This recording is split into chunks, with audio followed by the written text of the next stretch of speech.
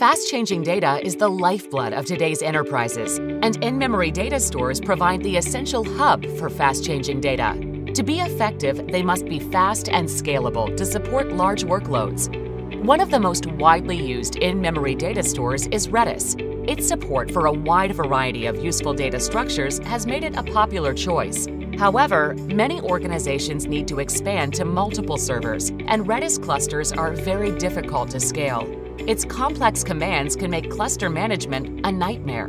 With ScaleOut in-memory database, now you have a choice.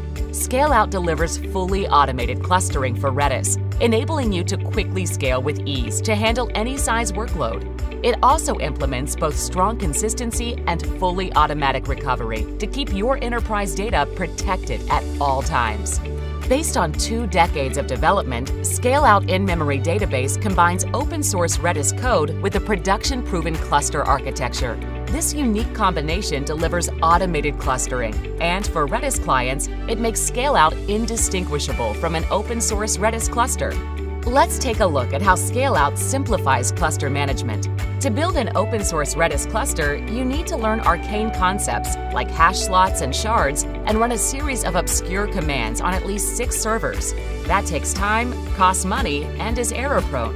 With ScaleOut, you can get started with just two servers. Since everything is automated, you just run a single command to scale the cluster up or down.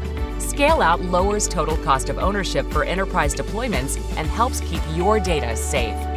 ScaleOut in-memory database introduces automated clustering for Redis. Check it out today.